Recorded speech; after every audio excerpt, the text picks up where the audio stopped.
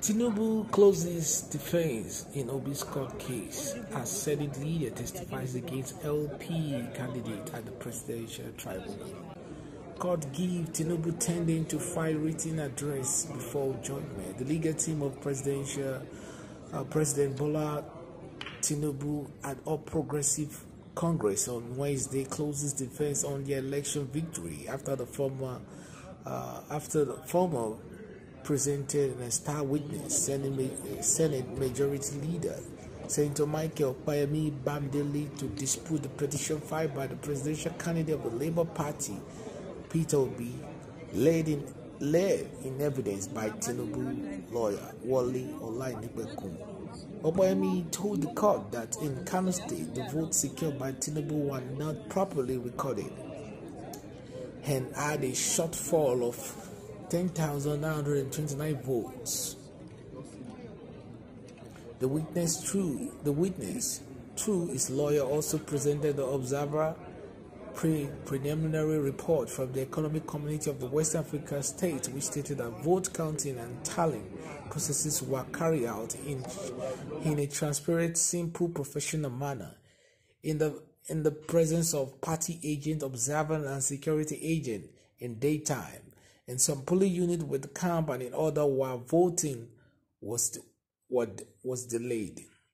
He also claimed that the Labour Party letter membership list to the INEC, it registers member for Anambra State at as at 15 April 2022 did not capture Obi's name.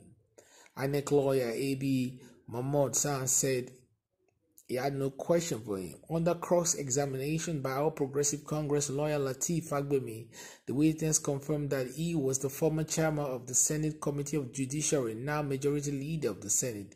He said that the Labour Party member registered for number does not contain the name of Obi and as at April 2022. The witness also testified that as an attorney, which was which who had practiced in the United States since 1999 for the uh, for the uh, for the fight of the phone trace to the bank account name Bola Tinubu was not a criminal conviction or sentence as alleged by Obi legal team. He tendered that his identity card showing that it's member of a New York bar. He said as long as standing associate of Tinubu, he is aware that Tinubu is a Nigerian citizen by birth, apparently debunking the claim that the president dual nationality. Under cross-examination by Obi lawyer Levi Uzo, he said he asked if he had European Union Observer Mission final report on the election. Uzochukwu asked it was he was aware of the European Union Observer report on the presidential election. To the Opeyemi noted that the descriptions on the face of the report Uzochukwu tender as evidence. Uzochukwu then asked Opeyemi to read the paragraph 7 17 of the ECOWAS report, which he, he did, citing where it noted evident incidents of violence, disruptions, or calls on the election day leading to death of Labour Party member.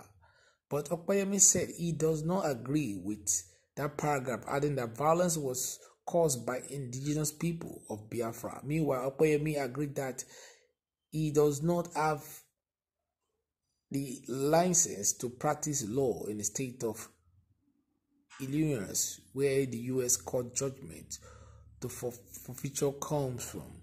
He added that I, I have license to practice law across the United States. The forfeitures on 460,000 US dollar account of Bola Tinubu represent proceed of narcotic trafficking. Of you ask, my lord, what is what contains in the judgment? Was a civil forfeitures of Opeyemi reply. He, he also agreed that with Uzochukwu that he is not IT expert. I want to place it on record that America Bar Associations of is a voluntary association, Uzochukwu noted, to which Opeyemi agreed, saying it is not voluntary association, but you have to be a lawyer to be made a member. The witness, however, noted that the U.S court rely on an American law dealings on money laundering in Tinubu forfeitures, which stressed that it was a civil matter.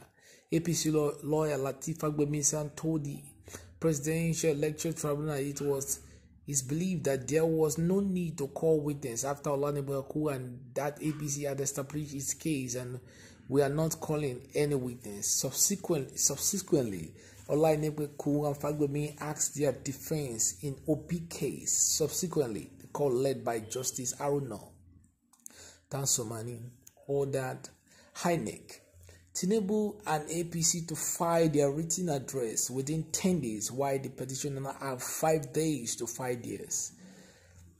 The whistleblower report that final address is filed and the court will fix a date for the judgments.